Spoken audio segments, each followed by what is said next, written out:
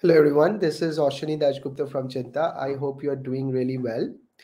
Today, I want to share with you something really cool and exciting. Uh, in mathematics, we often try to add things, we, we try to multiply things.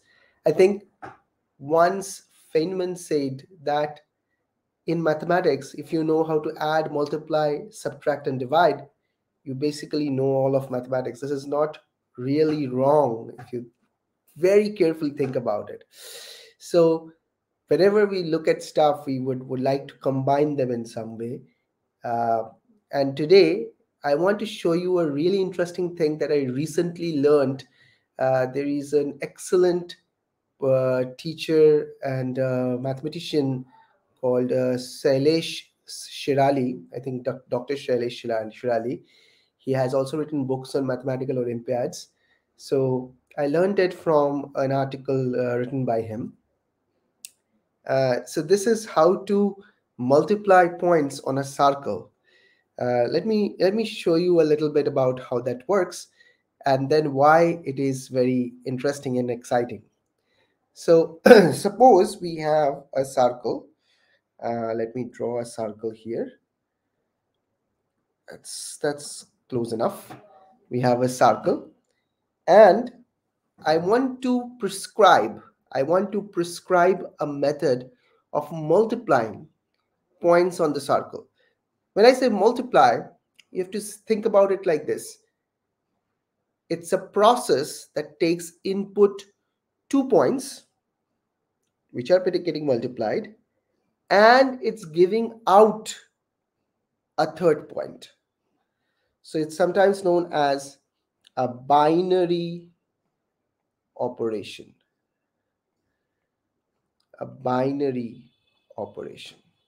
So you multiply, you combine two points and you get a third point. So how do you do it?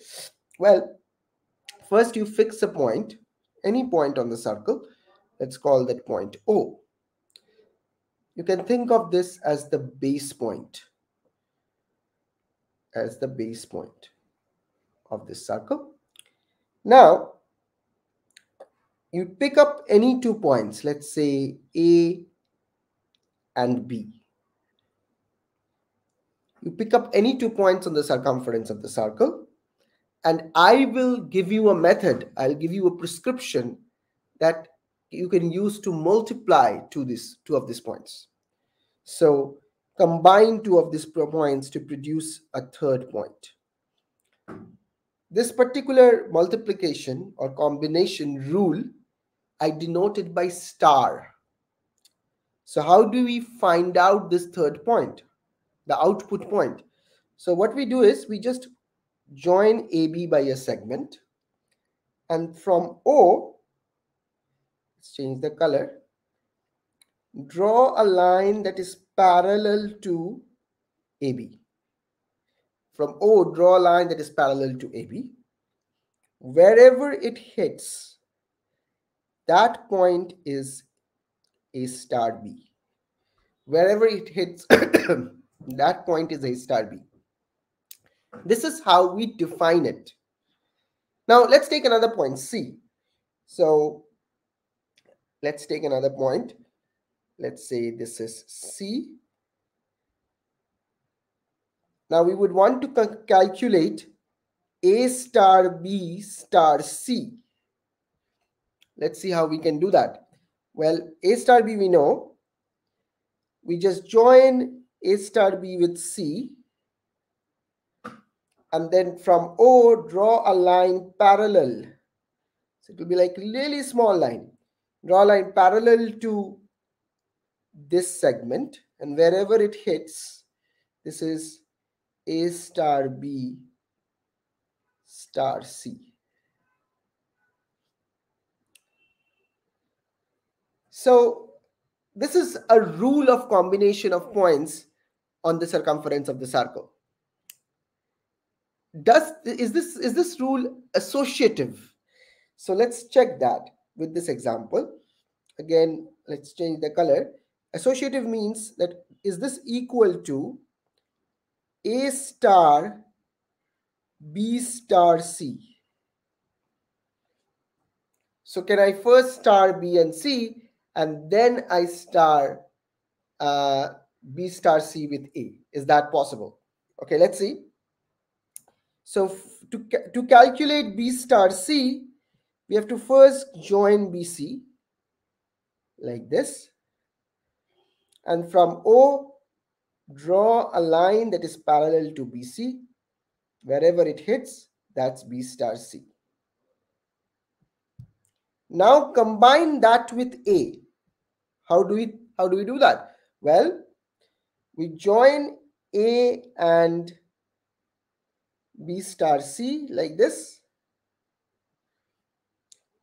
And from O, we draw a line that is parallel to B star C. Oh, that's the same point. Do you see that? I mean, experimentally speaking, this works. Experimentally speaking, this works. This little line, this point where we landed, is the same point. So already this is interesting because this product rule that we created, this is associative. And if you know a little bit of geometry and some bits of higher mathematics, one of the reasons we often include group theory in our higher math olympiad levels is because you get to see this beautiful rich interplay between algebra and mathematics and uh, as soon as you see an operation that is associative in nature you immediately think oh this is forming a group this is forming a group so let me just go ahead and talk about something called the inverse. So let me just pull this up. This is, let's draw the circle one more time, just to have a clear picture. Take up base point O. Okay, so I want, and let's take any point A here. Uh, let's use a color different color. A. Okay. So i want something called the inverse of a. What does that mean? It means that i want to start that with a what is that we don't know we, we need to figure out that point such that we get o back okay before we do that even what happens if you start A, any point A with the base point O? What do you get? Okay, let's do let's do that. A star O, A star O, let's use the prescription. Join AO, that's the first point, first uh, step. Then from the point O, Draw a line parallel to AO. Well, that's the same line. From the point O, draw a line parallel to OA. From the point, from point O, draw parallel to OA. Well, that's OA wherever it hits, that's the point, but it hits at A, which means A star O is A. Same as O star A. So in this language, if you multiply O with any point, you will get the point back. So that point is known as the, so O we can call as the identity.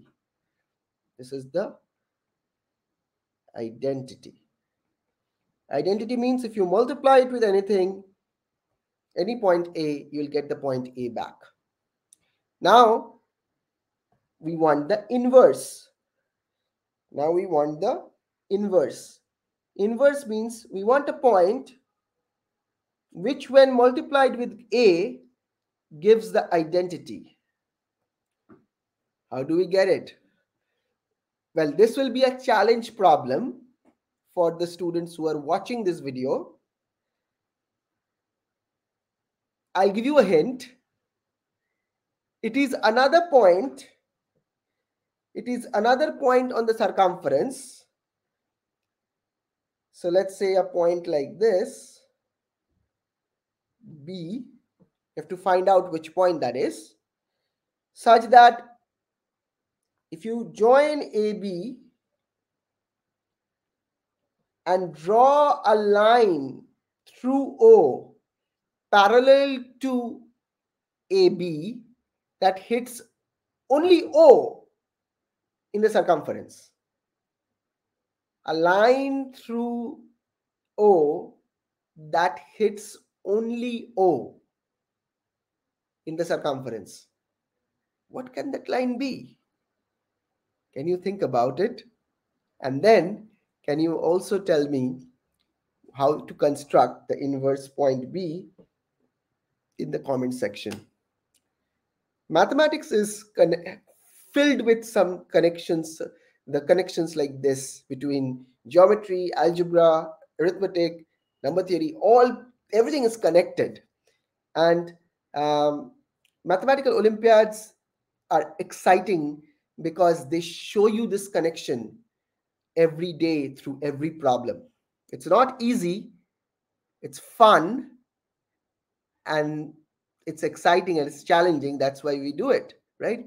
So think about it and uh, bring an answer in the comment section about the inverse point, and I'll see you in the next video. All right? Stay well and stay happy. Bye.